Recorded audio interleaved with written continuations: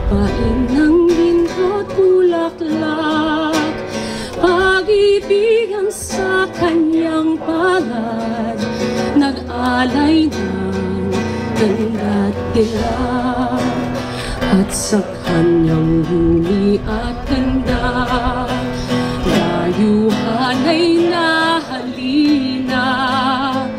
Bayan ko, inihag ka Nasadlak sa dusa Ninoy chose to return to the Philippines. Why? So that he can, he can unite the opposition to amplify the voice of dissent.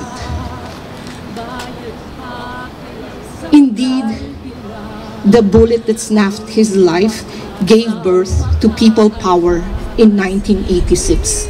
And his voice of dissent reverberated all around the world. ng luha at dalita ating adhika makita kang sakdalaya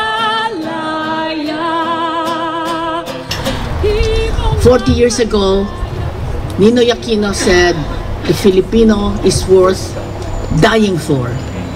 And then, right after 86, right after his martyrdom, three years later, his widow, Cory Aquino said, the Filipino is worth living for. And then in 2010, the son of Ninoy Aquino became president because he said the Filipino people is worth fighting for.